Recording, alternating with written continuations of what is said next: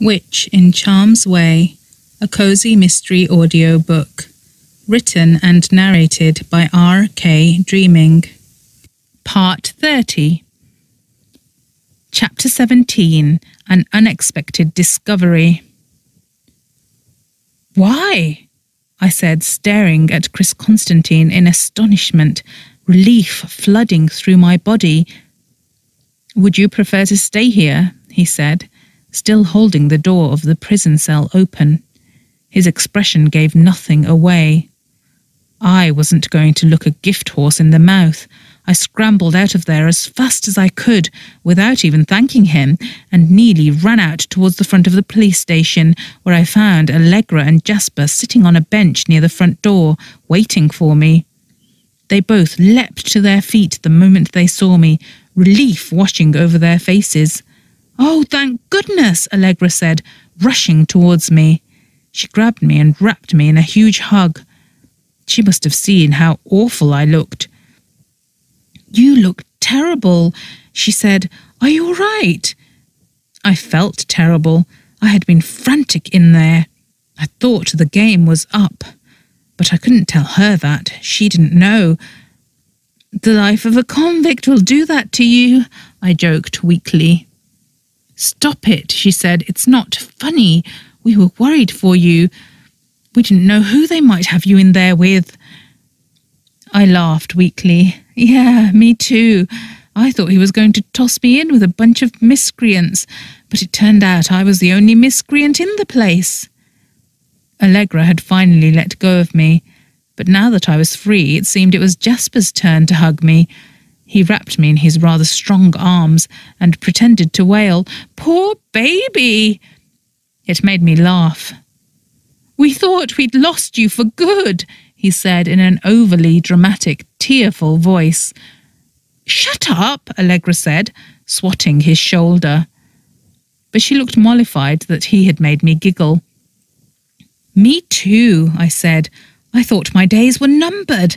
Truly, I didn't know how I was going to survive the long, dark night.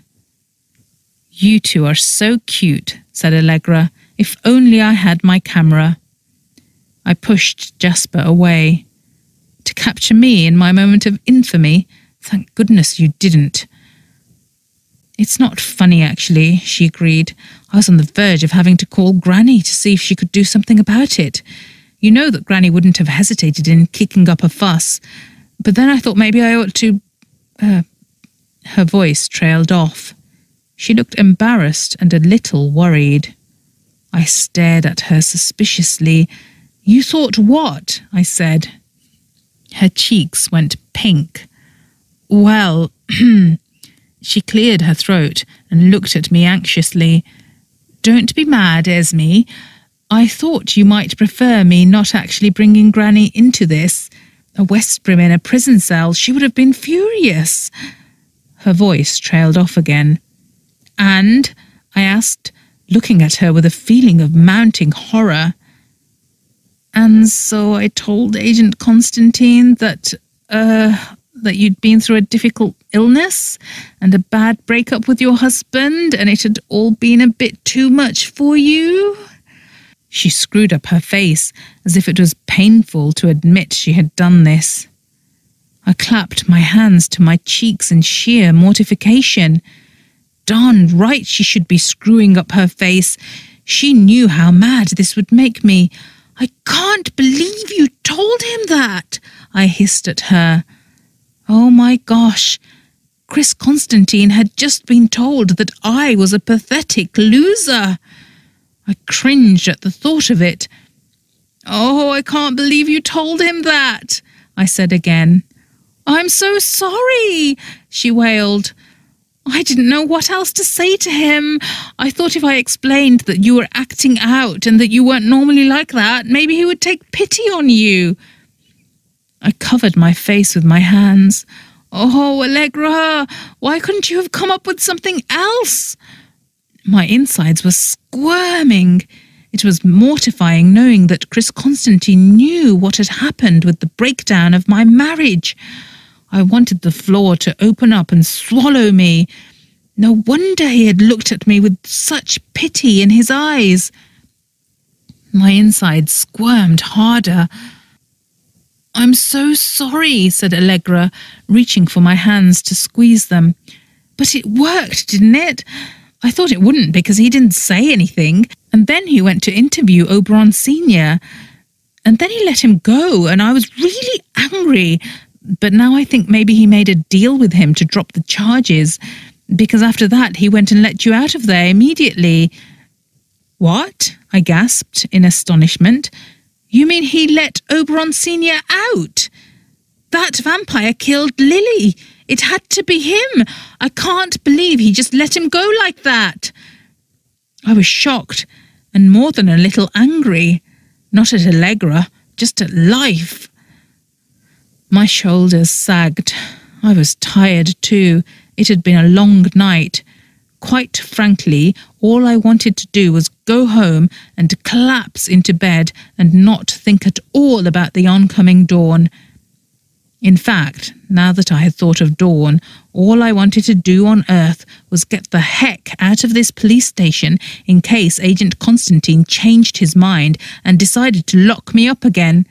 Let's get out of here, I said, and hustled the other two out of the door.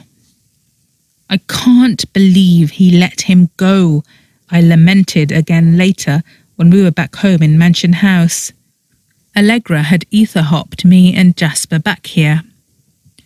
When we'd opened the door, we had been greeted with the surreal vision of a yawning Aunt Adele with her ghostly hair in ghostly rollers and a ghostly nightcap on top of them floating towards us. She'd told us that we simply must eat all of the things she had left out for us, and she wouldn't take no for an answer. After making us some hot cocoa as if we were still children, she had floated off to bed, yawning widely and still thinking that we had just been out for a spot of fun.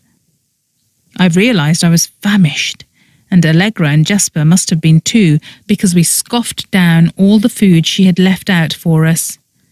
To my joy, it was not just cakes this time. She had made delicious little spiced lamb kebabs grilled on skewers, served with crispy salad and still warm, fresh naan breads. It was exactly what I needed, the lamb in particular. I stuffed the last juicy morsel in my mouth and savoured it. Perhaps more red meat would help put a stop to all of my cravings, I thought interestedly. It was something that I was going to have to explore. Jasper and Allegra were yawning. Do you two want to stay the night? I asked them. Allegra shook her head, but she looked really tired. She was disguising a yawn behind her hand. It hit me that it probably hadn't been very safe for the three of us to ether hop together when she had been so exhausted. Ether fraying was something that witches and wizards lived in horror of. Actually, that's not even a question, I said firmly. Of course you two are staying. Allegra, I can't have you ether hopping anywhere again tonight, not until after you've had some sleep. I took them up to my tower, to the guest bedrooms which were below my own floor. Together we managed to find some bed linens and make up the beds, and I bid them good night. I left them with Allegra helping Jasper brush his teeth with magic from her wand, since I had no spare toothbrushes. They were giggling as I walked out, and bursts of foam kept flying out of his mouth. I slept like the dead and woke up in the morning feeling possibly more tired than I had felt when I'd gone to bed. After getting ready for the day and slathering on a ton of sunblock, I went downstairs to find Jasper and Allegra in the kitchen trying to help Aunt Adele make breakfast. No, no, no, she was saying. Now will you two leave me in peace and go and sit down while I finish this off? Allegra caught sight of me. You're up, she said excitedly, and came over to hug me as if she hadn't seen me in weeks. Morning, I said sleepily. I was very glad when Aunt Adele thrust a cup of steaming coffee in my hands. It was exactly what I needed. When Jasper and Allegra looked like they were going to go into the cafe, I quickly shook my head. I can't face all that sunlight, I grumbled, as if I was too sleepy for it. Let's go to the family lounge instead. This sunlight situation was becoming dire. I couldn't even spend normal time indoors with my family. I needed to find a cure desperately and soon. In fact, as soon as I got rid of Allegra and Jasper, I intended to do what Aunt Adele had told me to do all along and go up to the Black Tower to beg the ghosts to let me take a look at the family grimoire.